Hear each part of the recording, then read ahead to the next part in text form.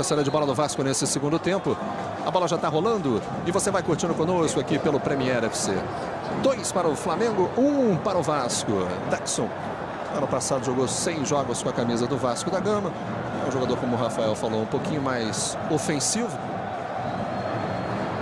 E o Flamengo fazendo essa mexida, colocando o Kleber Santana e tirando o camisa 10, Nixon, autor do segundo gol do Flamengo no primeiro tempo. Lembrando que essa é a quarta rodada da Taça Guanabara. O Vasco vinha com três vitórias seguidas. O Flamengo com duas vitórias e um empate. Outros resultados do Campeonato Carioca. Hoje o Bangu ficou no 0 a 0 com o Nova Iguaçu. Duque de Caxias e Olaria empatando em 1 a 1. O jogo começou ao mesmo tempo que Vasco e Flamengo. E o Rezende vai batendo volta redonda por 2 a 0. Vasco chegava ali pelo lado direito, a bola acabou tocando por último no Abuda.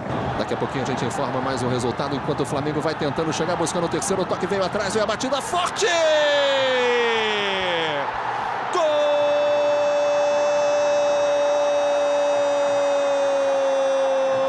Golaço do Kleber Santana!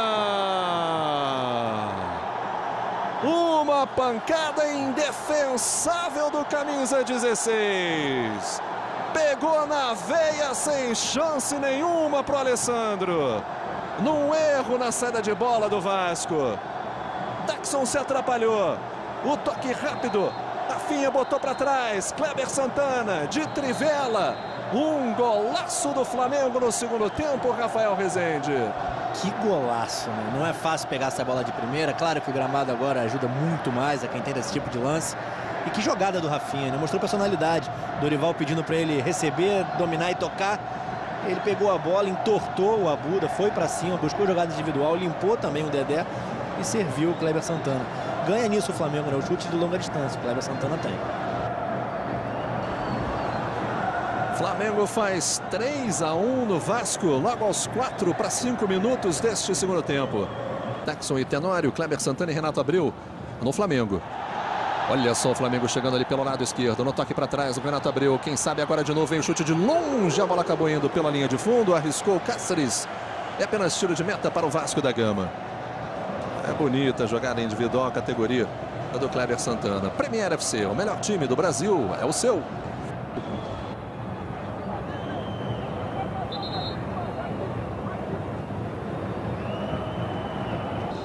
Tem jogador do Vasco caído. A partida está interrompida. É o zagueiro e capitão do Vasco, Dedé.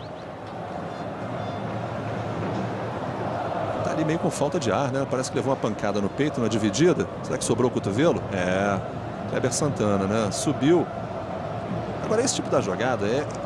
O Kleber Santana vira, percebe o Dedé e abre o braço desse jeito. Ou seja, ele foi com a intenção de atingir.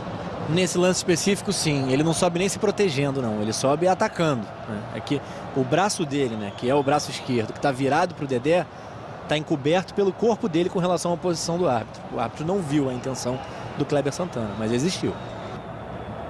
Você viu depois né, o Dedé colocando a mão no peito, né, sentindo ali ofegante, né? sentiu falta de ar. Tá tudo bem. Não havia necessidade, né? Vem carregando ali o Kleber Santana.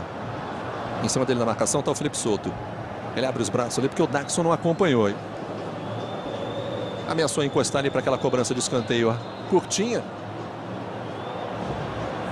E é o que o Flamengo faz. Deu o toque curto ali com o Kleber Santana, devolveu de novo. Ele toca a bola no meio. Elias tentou chegar, chegou o Tenório trombando com tudo.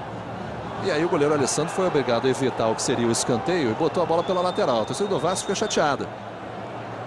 Faltou um pouco de comunicação ali, né, de definição do que seria feito na jogada. É o Wendel que fica em cima do camisa 18, Tomás. O Flamengo valoriza a posse de bola, vai tentando chegar no toque pelo lado esquerdo. Dentro da área tem o Hernani. Outra vez a bola acabou saindo ali pela linha de fundo. E a posse de bola volta para a equipe do Vasco da Gama. O Vasco vai perdendo a sua invencibilidade no Campeonato Carioca. Depois de três vitórias consecutivas sobre o Boa Vista, o Macaé e o Rezende. Vai perdendo por enquanto para o Flamengo por 4 a 2. E conseguiu fazer mais quatro na partida de hoje. Não vai ter esse espaço em todas as partidas. Pegando pequeno, tem que produzir ofensivamente. Não consegue, não dá para jogar no contra-ataque. Vitória do Flamengo. 4 para o Flamengo. 2 para o Vasco. O Vasco perde a sua invencibilidade no Campeonato Carioca